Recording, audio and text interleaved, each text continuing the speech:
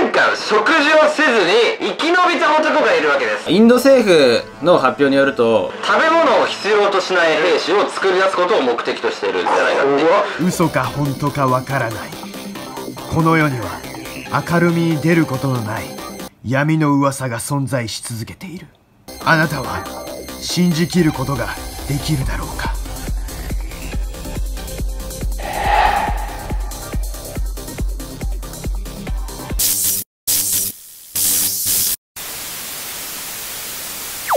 都市伝説のコーナーでー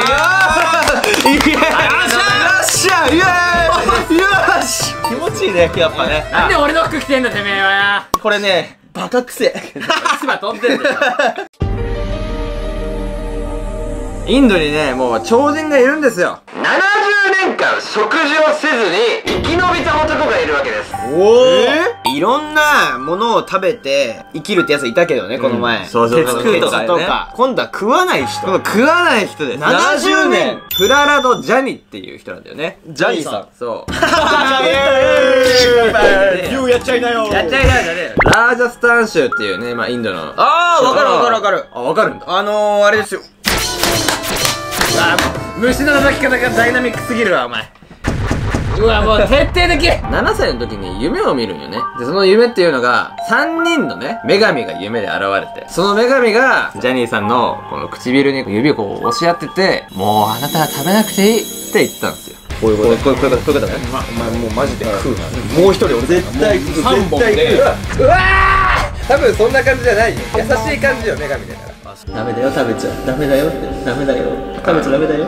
スガマンやってんの でそこで目が覚めて11歳になって洞窟でそういう生活をし始めたっていうわけです。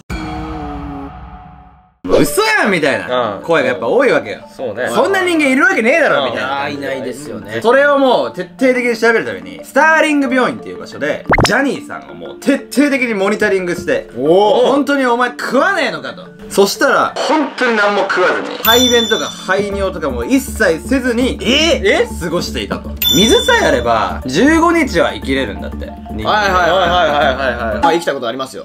ねえだろお前。水なしだと。3日から4日で絶命してしまうらしいんだけど水なしやったら3日か4日で絶命すんの。そう。えほんじゃなんで俺は生きてんの？かまいたちみたいになってるから。揺れれる？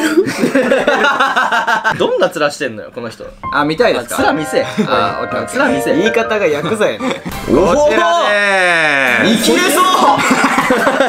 すっごい生きれそうやてる会長。寝てる会長ちゃうわ。で時は飛びまして2010年。また2度目の検査が行われたんですよ、はい。さっきは普通の病院だったけど今度はもう西部巻き込んだついに。政府が動きます。今度は15日間調べるということになって。長いよ。また24時間この限界体制でもうずっとカメラを回しっぱなしみたいな。血液の検査もして CT スキャンもするみたいな。うんもういろんな検査したけど何の異常もない。こうやってやって。そう。こうやってやって。15日目。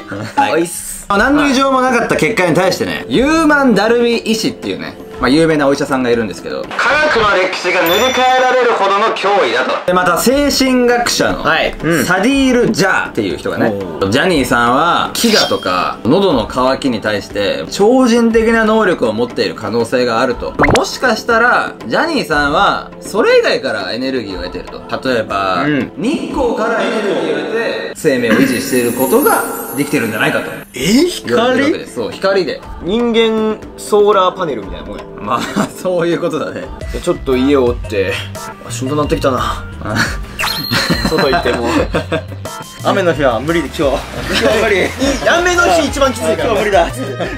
インド政府の発表によると、なんで食料なしで生き延びれるのかっていうのを明らかにしようとしてると。何のためかって言ったら、食べ物を必要としない兵士を作り出すことを目的としているんじゃないかっていう。っていう説があるんですよ。で、もしこれが本当に可能だった場合、戦争ってなったらやっぱり食料のね、費用がすごいじゃないですか、やっぱり。まあそうやね。だもしもうみんな食わなくていいとしたらさ、そこに回せるお金を全部もう兵器とか武器とかに回せるわけよ。はあなるほど。それを考えたらもしこれが実現したらインドって。めちゃめちゃ戦争強い国怖っ。これを目的としてるんじゃないかと。なるほど。っていうまあ説がある一方ででも俺は思うんがこれ嘘なんじゃないかって思うんですよ。ジャニーさんがこう生きてるっていえでもう説が政府絡みな後々さらに調べるとジャニさんは現在でも生きてることが判明した。しかしあまりにも現実離れしている話なので嘘であるという意見も多く結局のところ事実は謎のままである。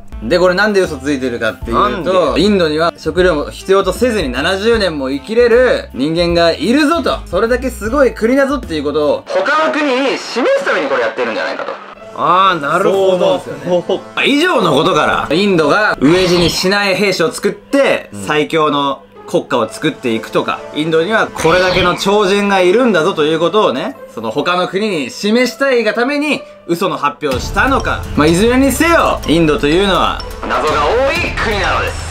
信じるか信じないかはあなた次第です個人の見解入ってきたね今日ね。ついについに。ついに 自らの見解喋り出した。かっこよかったっす。ああそうですか。ありがとうございます、はい、はい、てかもうくせえよお前